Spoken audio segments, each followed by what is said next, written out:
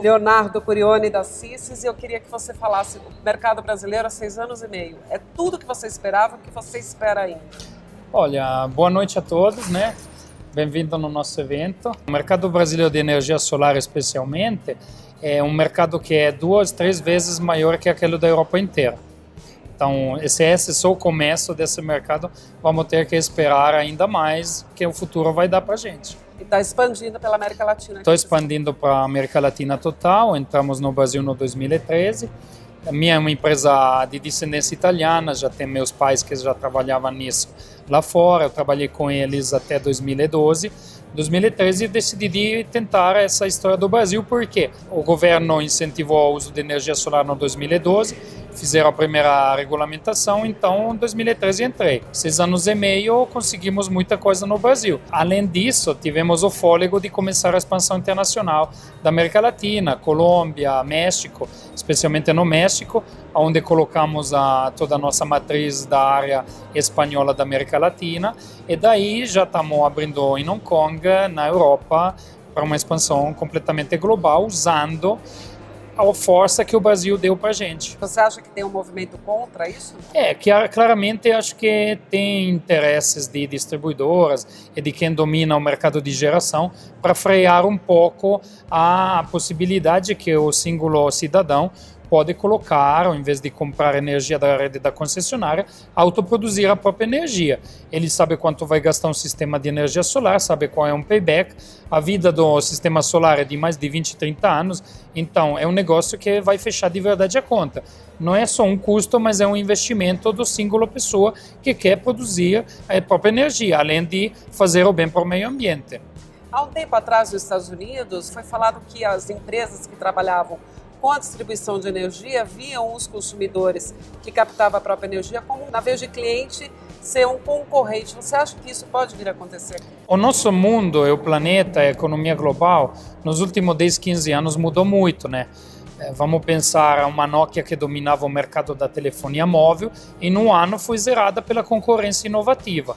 Uhum. O Uber que está fazendo a mesma coisa com o táxi, o Airbnb com os hotéis e tudo. Então, uhum é um movimento disruptivo desse consumidor, que é a capacidade dele mesmo de autoproduzir um bem que ele usa no dia a dia, que é a energia. É claro que algumas companhias tradicionais, alguns produtores de energia, distribuidora, não estão vendo de bom olho isso, porque é um consumidor a menos, um cliente a menos para eles. Vocês trabalham com a tecnologia disruptiva e trabalham também com a sustentabilidade.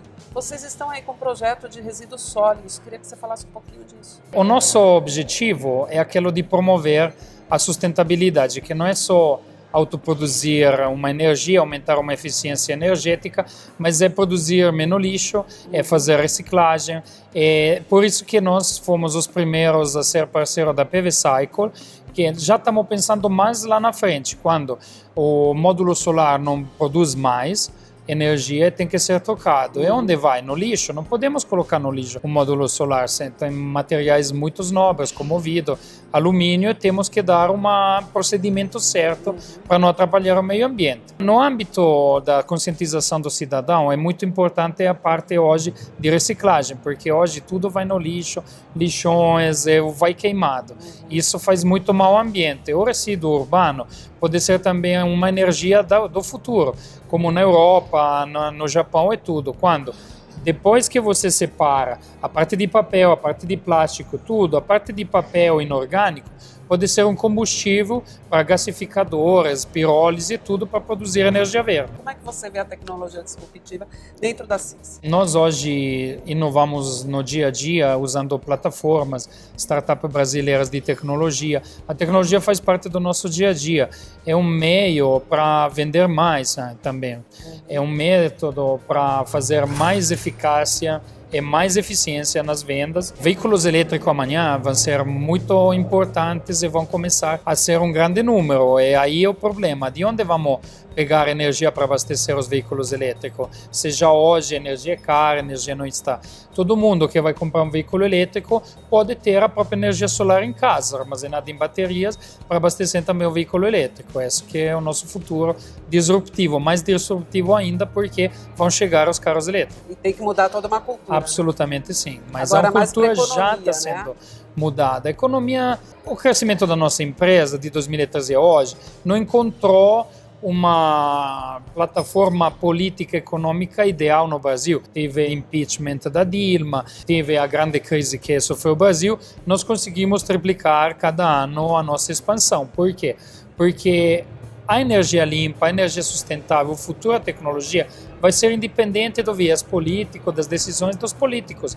Tecnologia disruptiva é por quê? Porque tem uma pessoa que decide de ter energia solar em casa, sem se preocupar de política, sem se preocupar de incentivos, sem se preocupar de nada. A decisão é só do cidadão. Obrigada, Muito obrigado pela entrevista.